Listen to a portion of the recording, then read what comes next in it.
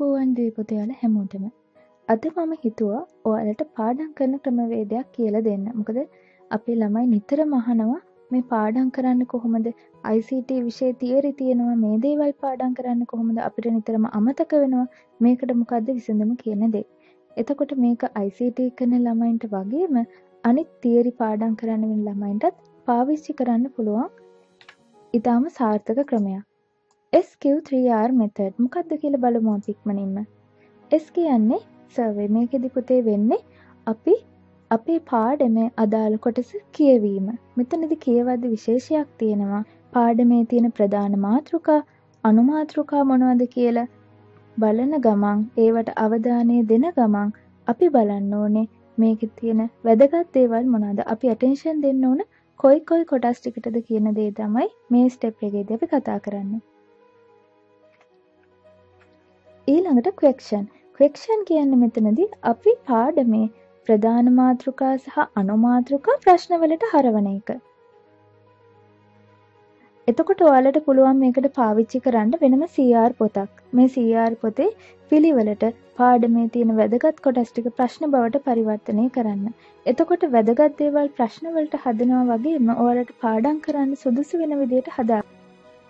මෙතනදී ඔයාල CR පොතක් පාවිච්චි කරන්න ඒ වගේම කෙටි ප්‍රශ්න හදන්න. මේ ප්‍රශ්න හදද්දි ඔයාලට පාඩම් කරන්න සුදුසුම විදිහට ගැලපෙන ප්‍රශ්න හදන්න. එකන සංකල්ප රූප වගේ අඳිනේවා ඊළඟට කෙටි සටහන් වලට උචිත වෙන එක එක ඩයග්‍රම් සඳනේවා ඒ වගේ දේවල් පාවිච්චි කරන්න.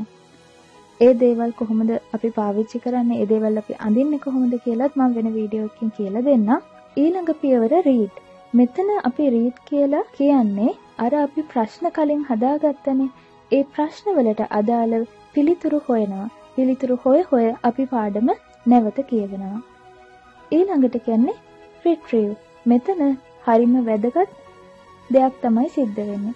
අපි පාඩම පාඩම් කරලා ඉවර වෙලා අපි තේරුම් ගත්ත විදිහට අපේ භාෂාවෙන් තව කෙනෙක්ට කියලා දෙනවා වගේ අපි පාඩම හොඳට කියලා දෙනවා පැහැදිලි කරනවා.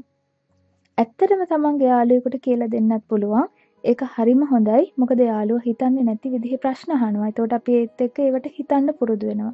ඒ වගේම එහෙම කෙනෙක් නැත්නම් අපිට පුළුවන් තමා කාට හරි කියලා දෙනවා කියලා හිතාගෙන තමන්ගේ වචනෙන් ඒක පැහැදිලි කරන්න. ඒක ඊටාම් සාර්ථක ක්‍රමයක්. ඊළඟ එක රිවිව් අපි පාඩම් කරපු දේවල් අමතක වෙන්න ඇරලා නිකන් හිටියොත් නම් අපිට කාලයත් එක්ක මේ දේ අමතක වෙනවා. ඒක නිසා අපි නැවත නැවත මේ දේවල් පාඩම් කරන්න ඕනේ. ඒ වගේම පාස් පේපර්ස් වලට උත්තර ලියන්න ඕනේ. ඒක තමයි හොඳම පුහුණුව අපේ එක්සෑම් එක වෙනුවෙන් තියෙන. මෙන්න මේ රූප සටහනේ සාරාංශයක් තියෙන SQ3R ක්‍රමවේදය ගැන ඔයාලා මේක සටහන් කරගන්න. මේ ක්‍රමේ ඔයාලගේ පාඩම් කරන මේ සිස්සරහ ලියලා තියාගන්න. ඒ වගේම මේ ක්‍රමයට පාඩම් කරන්න. අපි ඊළඟ වීඩියෝ එකකින් ඔයාලට කියලා දෙන්නම් කන්සෙප් නැප් එහෙම නැත්නම් සංකල්ප රූප අඳින්නේ කොහොමද කියන ක්‍රමය ගැන. ඉතින් පුතේ බොහොම ස්තුතියි. අපි සබස්ක්‍රයිබ් කරන්න කියලා මතක් කරන ගමන් අද වීඩියෝ එක ඉවර කරනවා.